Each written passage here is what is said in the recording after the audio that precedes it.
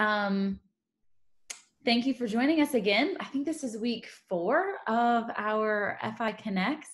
So it is great to stay connected with you all and um, we're just, you know, be in this process together. I look forward to this time every week. It's a nice little midweek afternoon kind of refresh. So hopefully you feel that way as well. Um, you know that we are here to learn, share, be together, and um, we just encourage you and um, hope to lift you up during this next hour and to provide you with some resources and supports, but also give you the opportunity to share and chat um, and just be together. So you might recognize me from our previous sessions. I'm Laura Albright, um, and we have a new face today, Emmy Coleman. She can introduce herself. Good afternoon. I'm Emmy Coleman, a colleague of Laura's from the Friday Institute, and we're so glad to be partnering to continue to bring you the FI Connects elementary sessions. So, welcome today. We appreciate you being part of it.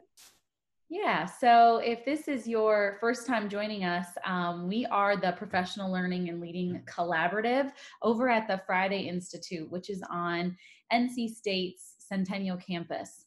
Um, we are in Raleigh and, of course, hanging out at home now. But um, this is just a picture of our building and our campus to kind of get you familiar with where we come from. Uh, just a couple logistical items here. You're on Zoom, so and you're familiar with how that operates. You know that um, there is a mute and unmute button in the bottom left corner if you want to jump in. We have a small group today, only about um, 29 of us so far. So if you do want to jump in and chat um, and talk, you can, or utilize the chat, of course. Emmy will be monitoring the chat throughout, and she will also be dropping in some helpful links and resources. So um, keep an eye on the chat as we go. You know that these sessions are, of course, research based and they're designed for you and they are informal. So, um, and inclusive for all learners um, across the spectrum of where we're at right now. So, Today, though, we wanted to kind of extend our conversation on supporting English language learners and um, exceptional children.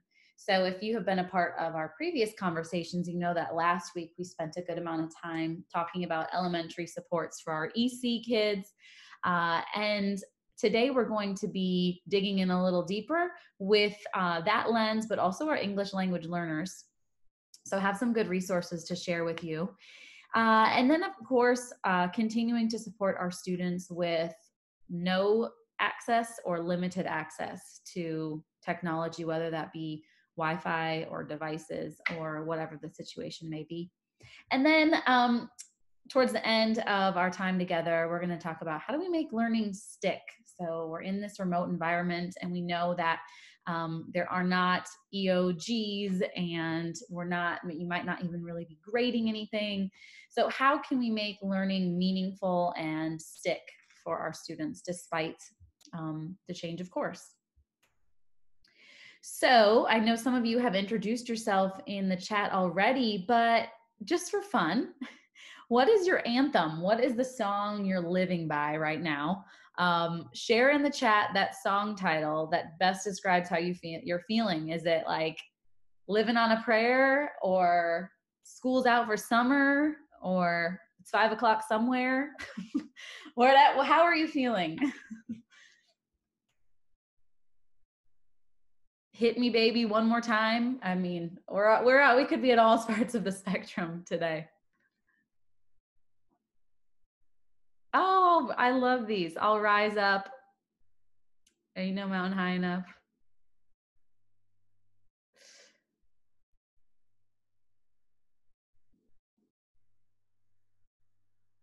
Oh, so good. I will survive. Yes, for sure. One day at a time. If you've been a part of our conversations, um, you know that we have been just talking about we'll get through this. Um, our emotions may change throughout um, as the day goes on. And then, um, yes, I love it. Thank you. We also like to take a little pulse check um, of where your district is at in this transition. Emmy is going to share a link in the chat right now for a Mentimeter, uh, and you're going to respond to that Mentimeter with A, B, or C.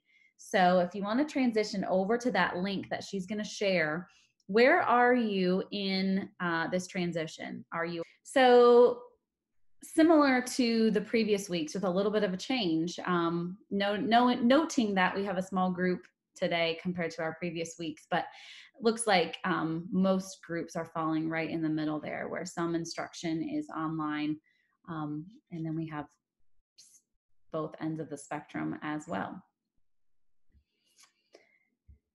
So that is good to know. And it also kind of guides our conversation because we definitely want to provide a balance um, in the supports that we're offering, depending on where you are. So, what is next? Um, we can't exactly say that this remote environment is new, it's not fresh anymore. Uh, we have been in this kind of lost track a solid three weeks now and depending on if you've had your spring break or if you're currently on spring break, um, your weeks may look a little different. But what is next? You know, how do we sustain this? How do we move forward? And how can we continue to support all learners?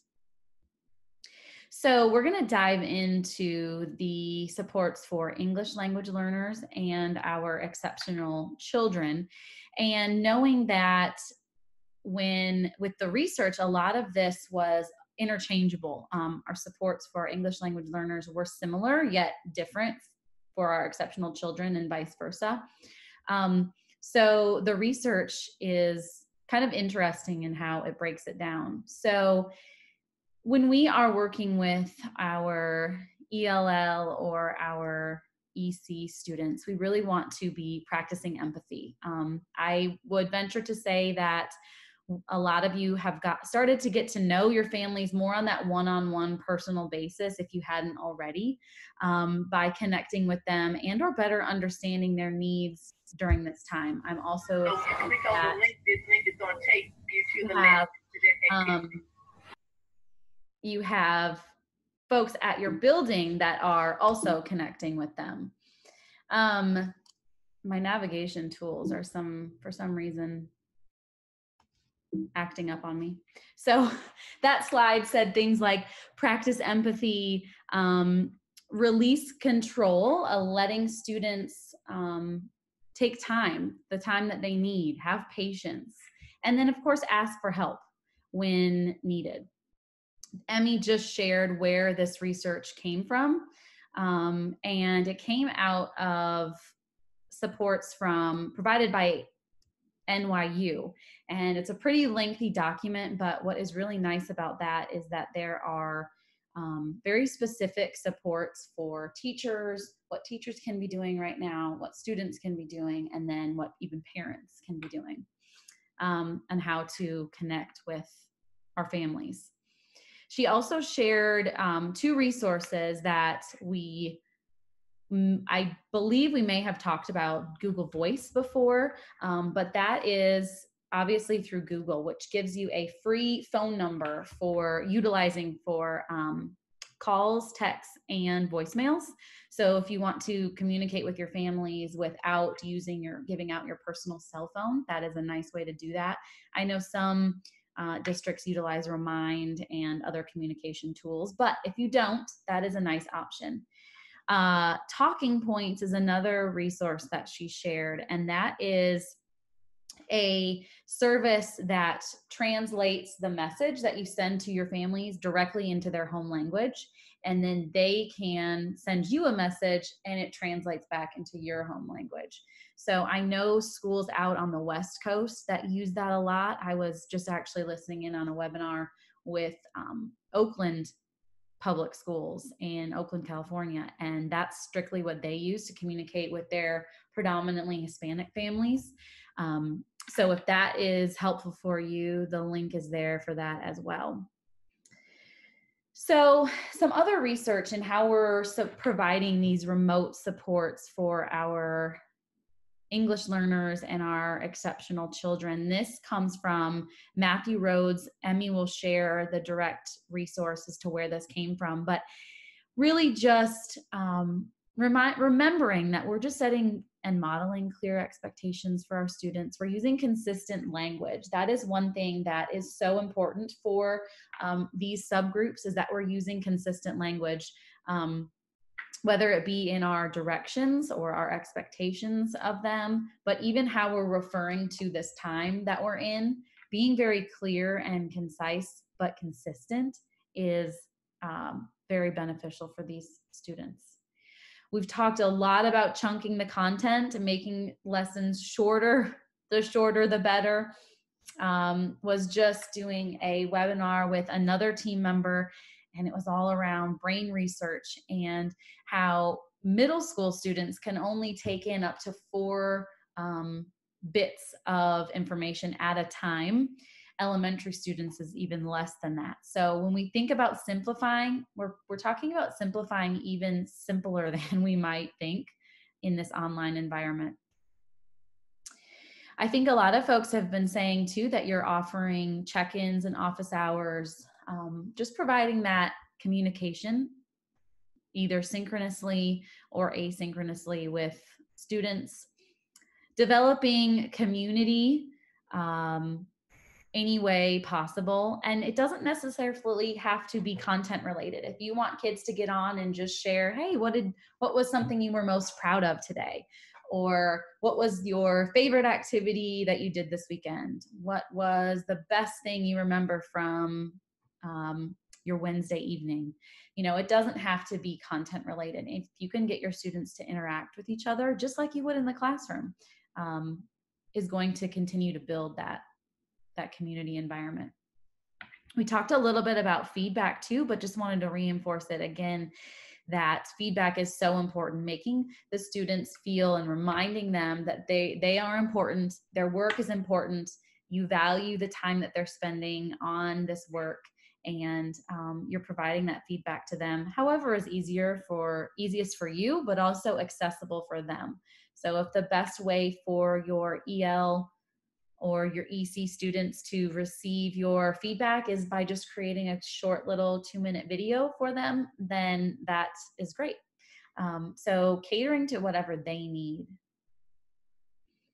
so what are those specific resources um, here are three really, really neat, simple, easy resources for English language learners. Um, Emmy will be dropping those in the chat as well. And I'm just going to talk through them briefly. As a reminder, and I meant to mention this earlier, you will have access to all of these links in a one stop shop at the end. If you've been a part of our um, FI Connects in the previous weeks, you know that we have shared with you a running doc of all the links. So do not be overwhelmed by the chat right now and don't feel like you got to open up every tab and bookmark everything. You're going to have it all uh, in addition to the slides. So no pressure there. But just wanted to run through quickly on what each one of these are. Sesame Workshop is super cute actually I'm going to be trying it with my my own four year old um, it is videos lessons activities and games that um, when i when i opened it up it immediately and um, by default was all in spanish and um, then google translate popped up and said would you like to tra- uh, translate this into english so it was just with one click the whole site translated back into english um, but some of these activities and resources you can download for offline work as well. So for those of you that are doing nothing online um, and you have access to being able for your folks to print out resources or if you print them out for them, however you have that worked out in your system, you are able to do that. So that was a really, really cute resource. Um, same thing for our next one. And the pronunciation, if I do not say it correctly, if someone knows in the chat, you can correct me. Um, but I think it's Contico. And that is a site that reads stories and sings songs and lullabies in Spanish with supporting activities to do offline. So, super cute little short stories, all in Spanish. And then um, some activities to go along with those readings. And then the um, oh, good. So someone said that Sesame Workshop is great to use with pre-K learners. Yay. Okay. Um, and then the next one is, I'm not sure how to pronounce that one either. I, I think it is new because I was looking up more and more information on it, but um, it's been shared out on the Wide Open School site as a great resource for free downloadable coloring pages um, that are the artists are um, from across the world and then the images that the students are coloring are all culturally responsive uh, images so things that are either religious traditions or just cultural t- traditions. Um, so that was really that is a really nice easy resource. All the coloring pages are pop just pop up on the one site. You just download it. Um, really easy to use. So those are just three simple um, sources. If in the chat anybody has any other good ones that they've been using, I know um, you probably have some go tos, but these were definitely catered to your elementary learners. So feel free to share. For our EC uh, students, you probably are familiar with um, the speech talk talk and text or speech selection where it highlights the text as it reads aloud. You can enable that on the uh, in on your apple devices and on your android devices. Um, android it's just called captions and on macs mac products it is called speech selection. Um, the other thing that you may not be aware of, but as you are, if you're recording, say, a mini lesson, um, you can enable closed captionings on closed captioning on your Google Slides and on a lot of other um, screencasting as well. But just here, if you see um, on my screen down in the bottom left corner, as soon as I click captions and um, I start to talk, it it I don't I would assume it's showing up on your end how I that what I am saying and it picks up just about everything pretty accurately. So this is a nice um, option for our EC students as well. That can be enabled and disabled just as easy as a click.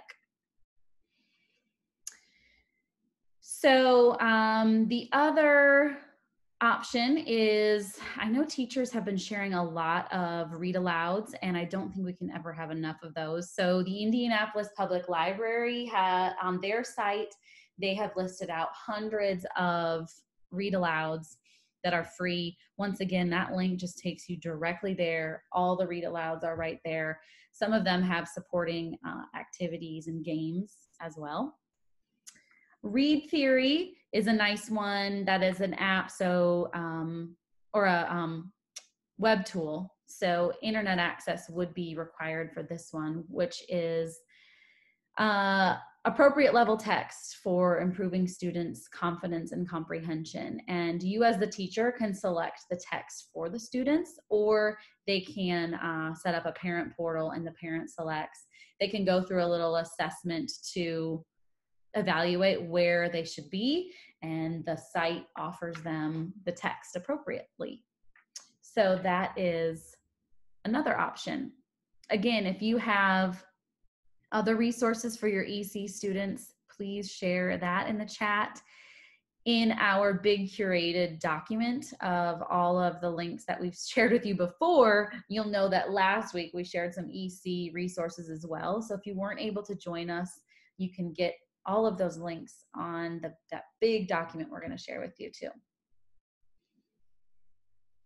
So to practice what we preach, we're going to take a quick little brain break. Um, during this 15 second brain break, you can stand up, stretch, take a drink of water, whatever, but just don't leave. So here we go. Here's 10, 15 seconds on your own.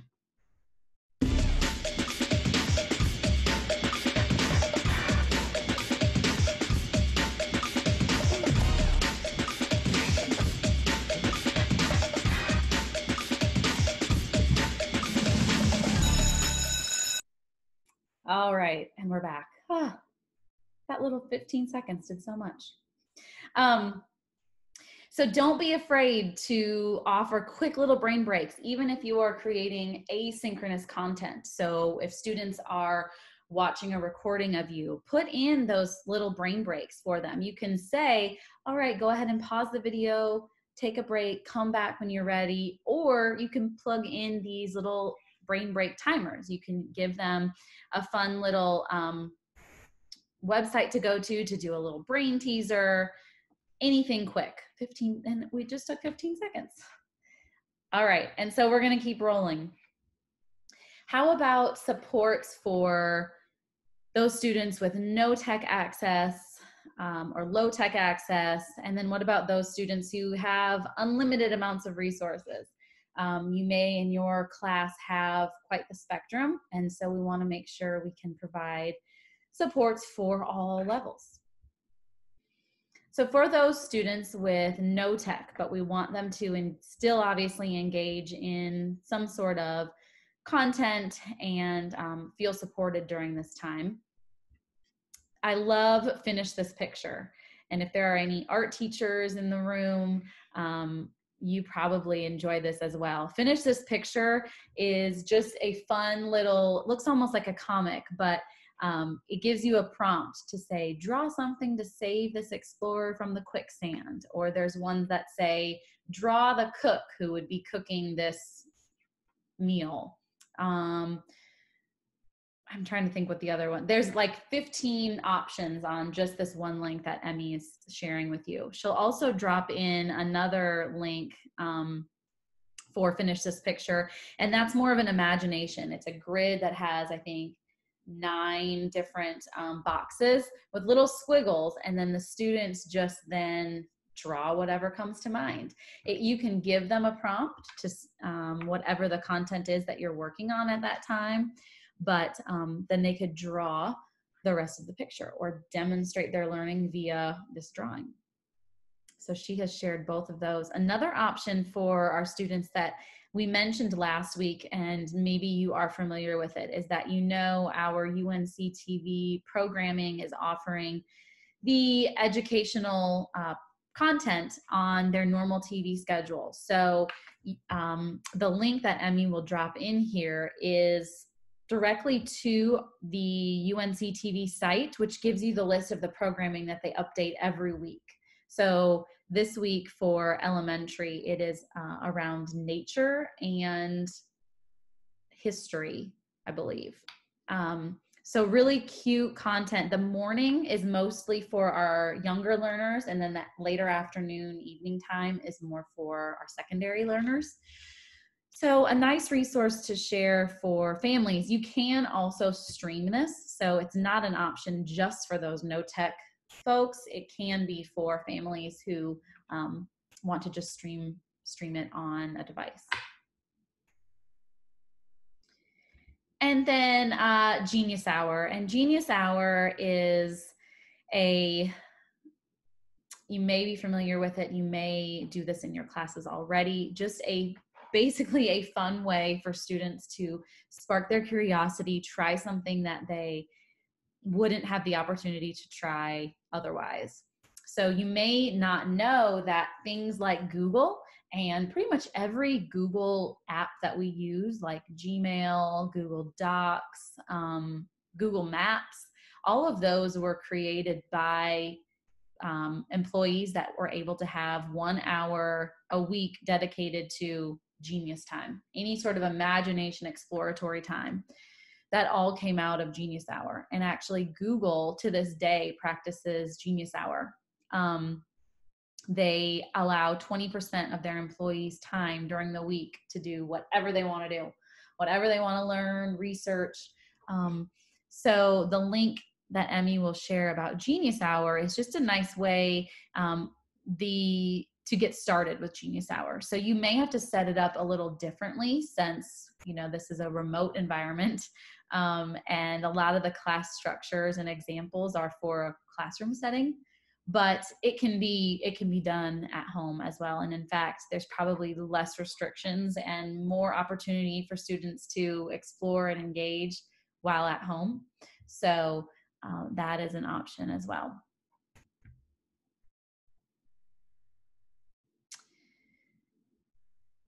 For our students that may have access to technology, but on a limited basis, um, there are some resources here for you. So this might be for students who are sharing a device with other siblings. They can't get on every day or um, you know their bandwidth is low and the parents need to use that for their working hours so these are just some asynchronous options last word is a really nice lesson to um, provide students with any sort of text, they, whether they read it from a book or they read it from something that you have provided to them. The student picks out, say, two or three quotes or pieces from the passage that they want to discuss and talk with their classmates around. And so it's this asynchronous back and forth conversation. Um, and then you, as a teacher, would say, so and so gets the last word. Um, so the link will um, send you to the lesson for last word. PBS Learning, as elementary teachers, I'm sure you use um, some of these sites, but they have been up, PBS has updated their site specifically for this remote environment. And so they have broken down their resources by content and by grade. Um, there are videos, lessons, you name it, all the way from pre K on up. I know that was one thing in some of our feedback, some of you all were saying we'd like more pre-K resources. So pretty much all of these that I have shared today, except for maybe a couple, do have pre-K options. And then bedtime math. This was new to me, and I'm not sure if it's new to you, but it is super cute. Um, daily math problems. They can be riddles, they can be little trivia, fun little story problems that are updated each day. And then there is a supplemental activity by broken down by um, grade band. Um, the answers are right there. So if you're sharing this with families and um, they're like, I don't know the answer, I don't, I need to help my student with this. The answers are on there. Or if you want to uh, set up an asynchronous type of a setting um, where students complete the problem and then share their answers back with you, you can do that too. So really cute uh, resource there. Has anybody used bedtime math before? I'm just curious because, like I said, that was new to me. Um, so, yeah, I'd love to know what you think of it if you do end up using it. All right.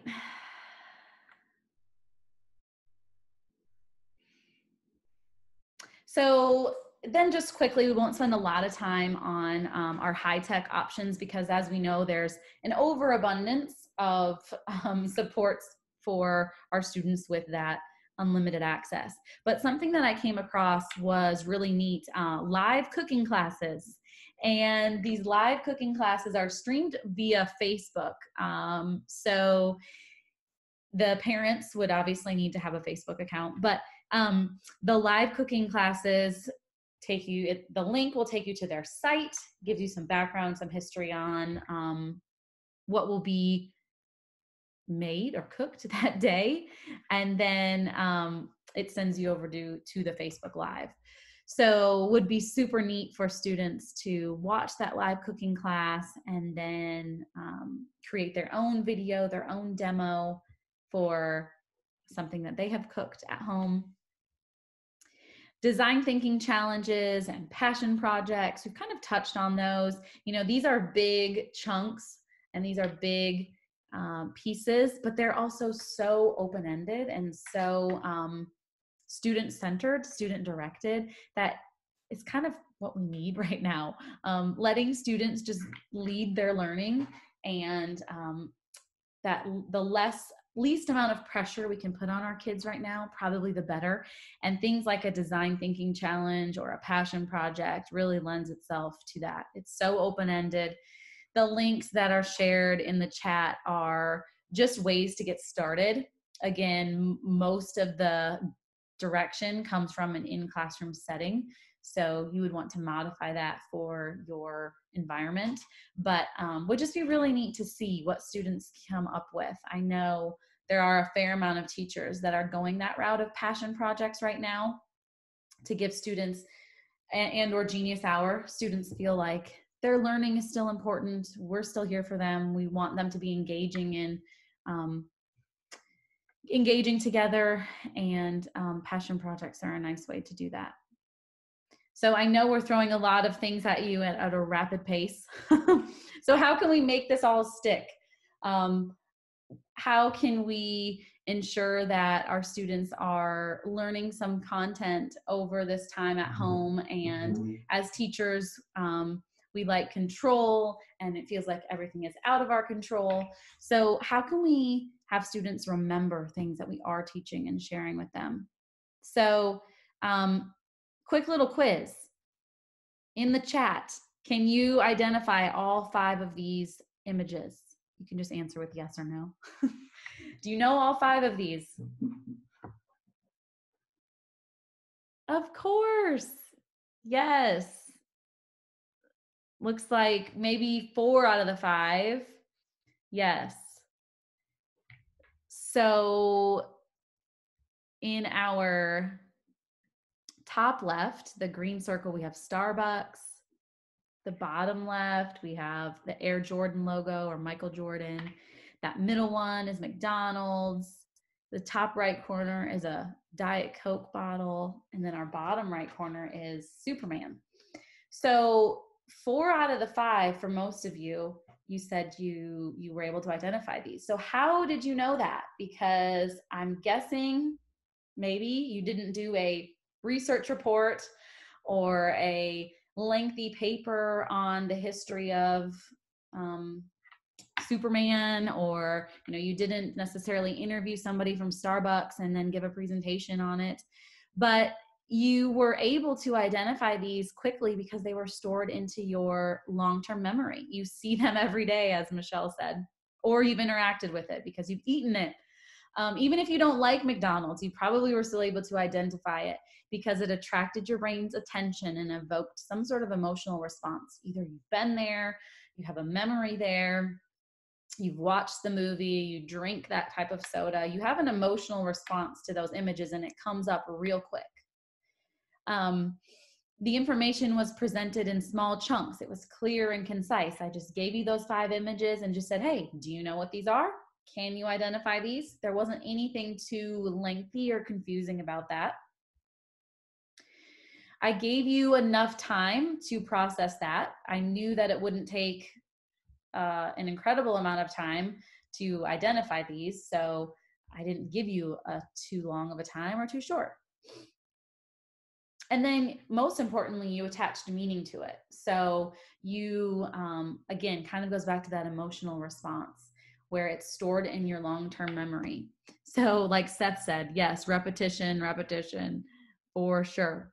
Um, so, moving from short term memory to our long term memory, how can we evoke an emotional response to either this content or this connection, this bond that your students have with you? Um, so, this information goes from their short term memory to their long term memory. Making learning stick, then, just by encouraging active engagement. So, whether that be um, any little bits of engagement with each other, um, with their peers, or with you. We've shared a lot of resources and links over the last few weeks about how students can stay connected with each other, but they want to see you too. They they um, miss you just like you miss them. So any type of engagement that you can have with them, whether that be sending them a short little message or a quick little video clip that's personalized to them, um, is wonderful. Tapping into what students already know. So I think sometimes we, um, because of this, the circumstances and because we have so much content to teach, we um, try to give students just as much information as possible um, without really tapping into utilizing what they already know. So, something as simple as in these three weeks since you have been home, what has been your uh, favorite part about this time spent at home or what have you learned about what about your daily routine you know something that uh, they can talk about and they can feel confident about by making it personal and relevant.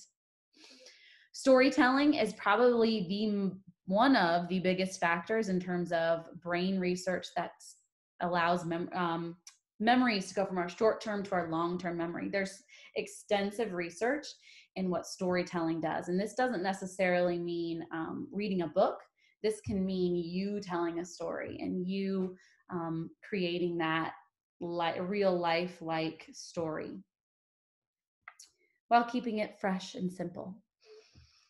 Um, one other resource that I did want to mention that was just dropped in the chat is if you're we're not aware, Time Magazine um, opened up their online content for free for the rest of the year. And so this is Time Magazine for kids. And there's obviously a parent side, um, teacher, and student side that just has a plethora of nonfiction material for students to engage with. Um, so check that out if you would like as well. So I'd just like to hear from you. I've been doing too much talking on how you have created learning experiences that stick during this time that you've been at home um, and that you've been away from your students. Maybe it's not something that you've already done, but maybe it's an idea that you have that we've talked about today. So if you wouldn't mind just sharing that in the chat, um, what is sticking? How are you making learning stick?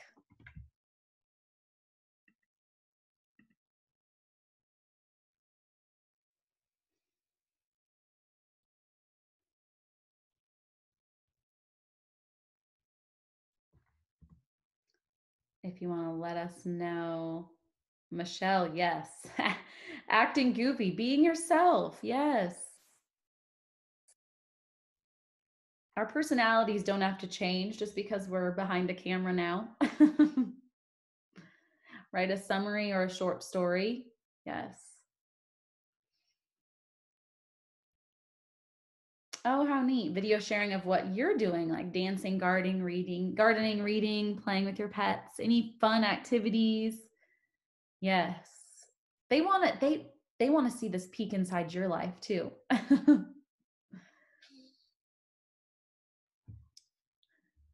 love all these videos, Google Meet.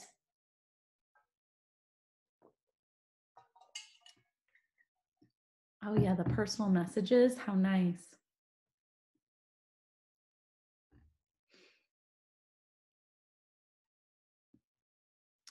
Such a good variety. Utilizing a weekly newsletter to catch the kids up on what each other are doing. Oh, that's so that builds that community. Handwriting birthday cards.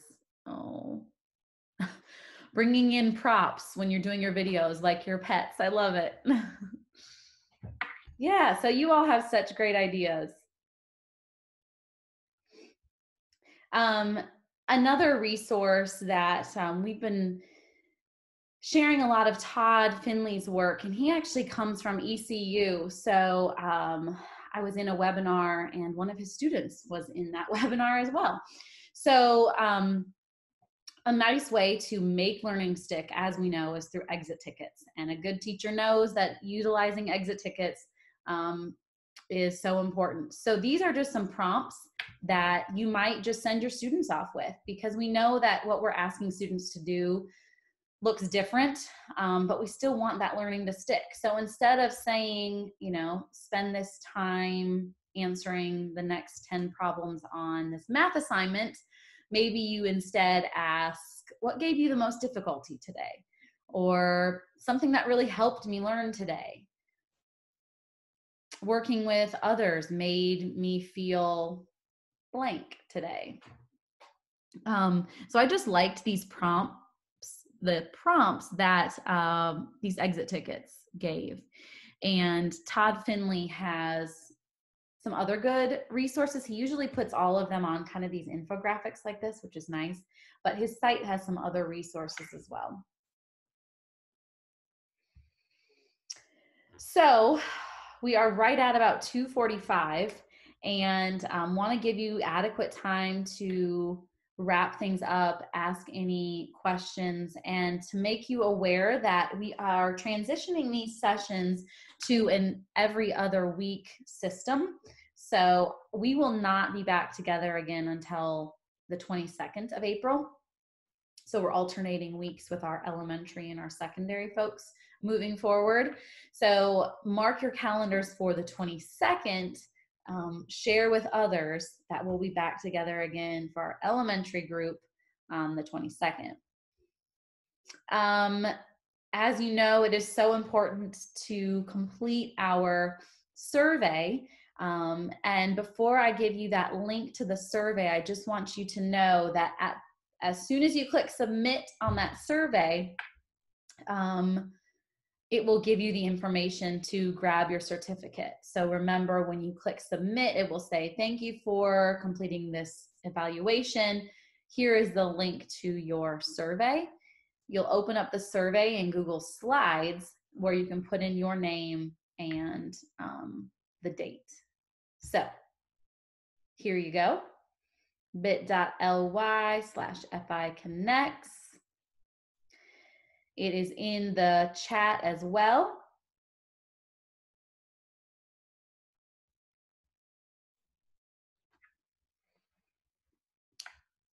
So if you can complete that survey, uh, that will help us as we continue to build out these sessions.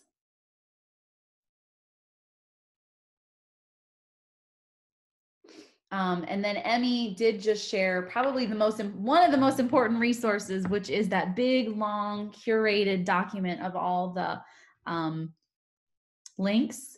So it's your one-stop shop of the elementary hub of resources. And someone asked um, about the evaluation. And we will drop that in again. So there's the survey link. And remember, you'll get your certificate after completing the survey. You can um, put your name in it, you can put the date in it, and you'll be good to go.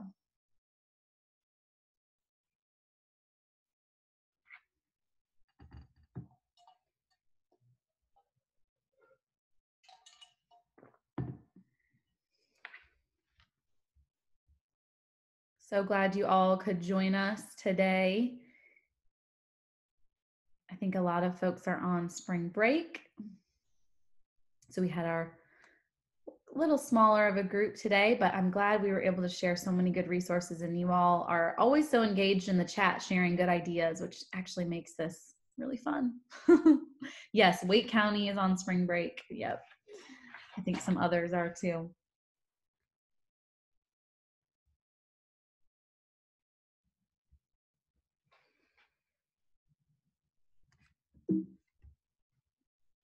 I also wanted to make you aware that our recordings of our sessions are uploaded to our Friday Institute um, YouTube channel.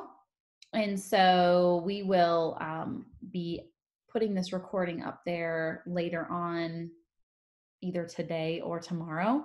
So the link is there in the chat for you to um, either rewatch this recording or watch some other previous weeks if you weren't able to attend. That is also very helpful to have.